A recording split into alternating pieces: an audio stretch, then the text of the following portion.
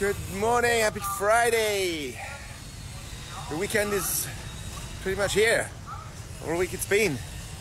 Very, very interesting. There's a lot going on in Siem Reap. Construction, construction everywhere. Uh, although the Amazon Cafe over there doesn't look very busy. Anyway, yeah, new places opening, other places are closing. I've seen restaurants, cafes gone, but new ones have come. So, while I hear a lot of people complaining that there aren't enough tourists, I, for example, I'm trying to find an apartment to rent, you know, good quality, Western style, and a good price. It's very hard to find. So, there are clearly plenty of, many foreigners, expats that are living here long term and have rented the best places. So that makes it difficult for me to find something. But, as I said, in the meantime, pretty much everyone I talk to in the hospitality industry are negative. They are negative about the situation. Beautiful, right? They're negative about the. Uh, they're negative about the, the, the fact that there aren't that many people here. But the problem with that is, and I have to say this, and I don't care if anyone complains to me, it's the government. All right? I'm just trying to find somewhere to sit down. It's the government. I mean, they've made bad decisions. There's no doubt about that. I'm in the night market area, which is open during the day too. Government's made bad decisions. You know, building, building a new airport in Siem Reap, which is almost 45 minutes away or further, was a big mistake. No, thank you, darling. I'm just, I'm working, okay? No, honey. One more save your shirt. Yeah, later. they, can't stop harassing you, but that's okay.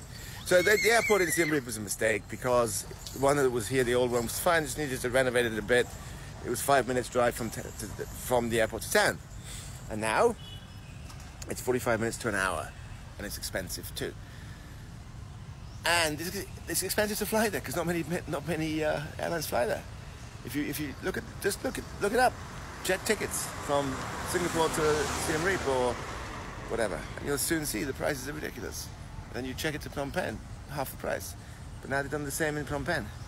They've opened that new Taco, whatever it's called, airport, which is one more than one hour away from Phnom Penh. The existing old airport was just fine. It wasn't overwhelmed. It wasn't busy. It was good. All they needed to do there was a little bit of renovation too.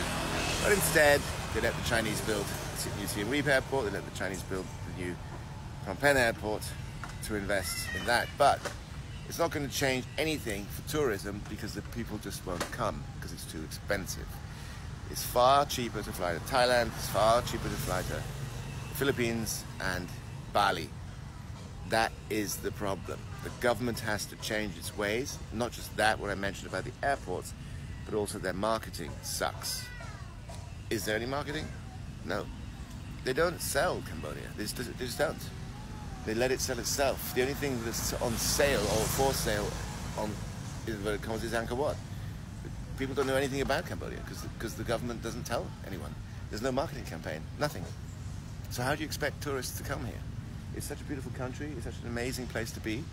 Siem Reap, Phnom Penh, Kampot, Kep, Koh Rong, Battambang, Mondulkiri, etc. It's, it's fantastic.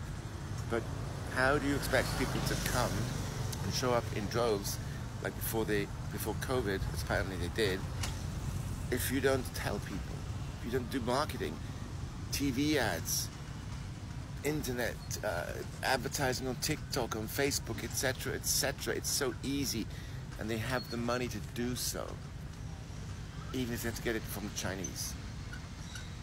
That's my take. Up to you.